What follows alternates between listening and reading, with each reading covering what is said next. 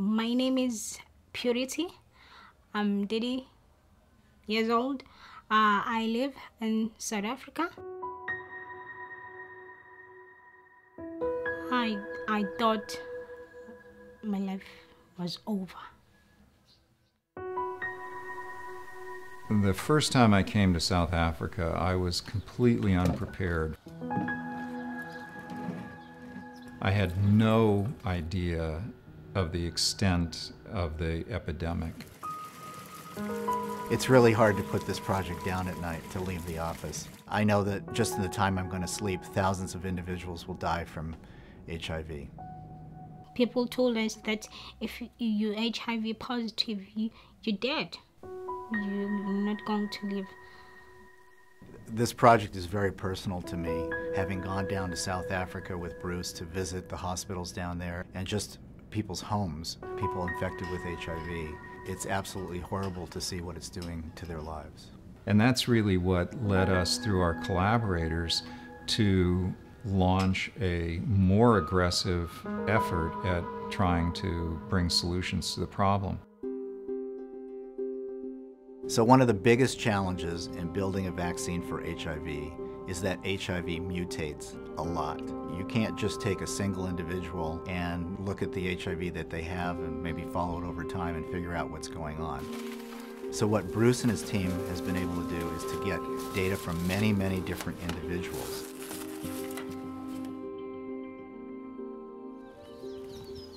So in South Africa, women bear the brunt of the HIV epidemic.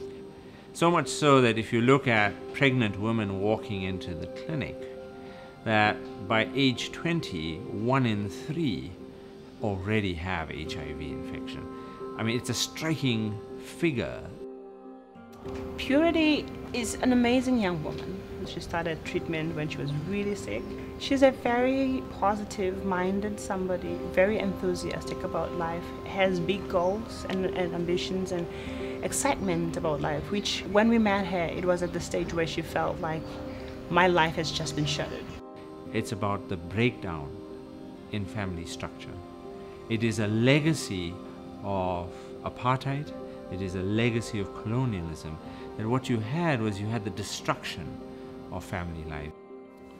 My parent died and they left us with nobody here in this house and it was so painful for us and we didn't have food we didn't have nobody was working then until my sister got a job she is an orphan who made it possible for her siblings to live a manageable life. So that to me tells me that Purity is a, a woman of power, woman of strength, and I really admire her courage.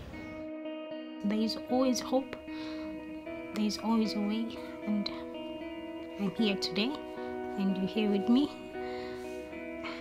I, I, I, i'm fine So the collaboration with uh, Bruce and the South Africa team, it's very fluid. There's so much data being generated. I realized that we had this algorithm that could help him. So he uh, gave us the problem uh, one Friday night, and by Monday morning, we had a solution for him. And that's the sort of thing that, that David and others have been able to bring to this problem is to take massive computing power and novel, innovative algorithms and allow us then with a vaccine to try and make the virus something it can't be, force it to become what it doesn't want to be, thereby crippling it and thereby hopefully getting the upper hand. if i met somebody with hiv I, I would tell them to hold on. There's still life there's hope. They, they must dream. That because that's what keep me going.